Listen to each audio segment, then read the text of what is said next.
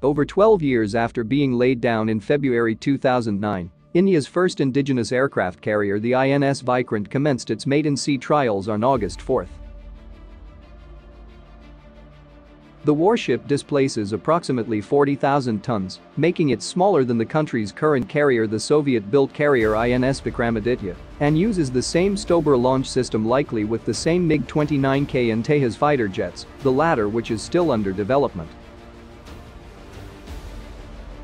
This launch system does limit fighters' capabilities, however, relative to steam and electromagnetic launch systems such as those on American Nimitz and Gerald Ford class ships and China's new Type 002 class carrier, where most carriers rely on accompanying destroyers for air defense.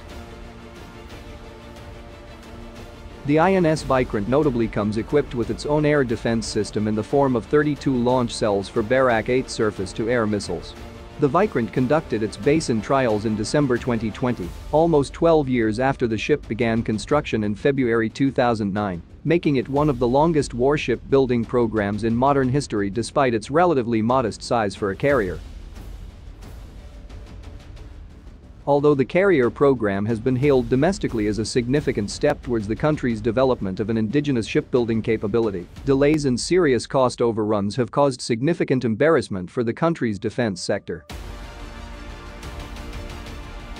The Vikrant was initially planned to cost $500 million,